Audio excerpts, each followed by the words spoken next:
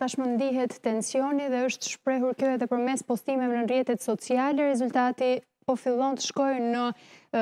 favor të kandidatit demokrat Joe Biden dhe siç mund të shohim profilin në Twitter të presidentit Trump dhe kandidatit demokrat për president Joe Biden ka një ndryshim të madh midis këtyre dy profileve në mënyrën se si shprehen të dy kandidatët për president. Në profilin zyrtar të presidentit Trump shohim që ka pasur edhe shumë etiketime të njëpasnjëshme nga Twitter në pothuajse në të gjitha postimet dhe ne në pamjen të parë nuk mund të shohim se çfarë ka shkruar presidenti Trump pasi është ky etiketim që mbulon postimin e presidentit dhe ndërkohë që ka pasur edhe një reagim të momenteve të fundit nga Trump që thotë Twitter ka dalë totalisht jashtë kontrollit duke bërë këto veprime të njëpasnjëshme në profilin e tij zyrtar.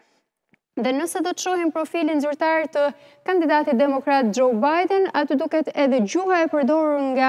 Biden shumë më e qetë edhe më e moderuar, duke iu kërkuar njerëzve që të kenë besim, ne do ta fitojmë këtë, por patjetër nuk ka shpallur as fitore dhe as nuk ka pasur postime që janë etiketuar nga Twitter si informacion i rremë apo që duhet verifikuar si informacion. Gjatë gjithë kohës shprehet që duhet të mbajmë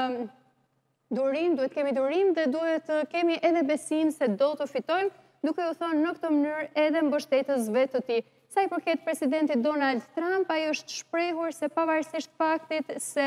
presidenti Trump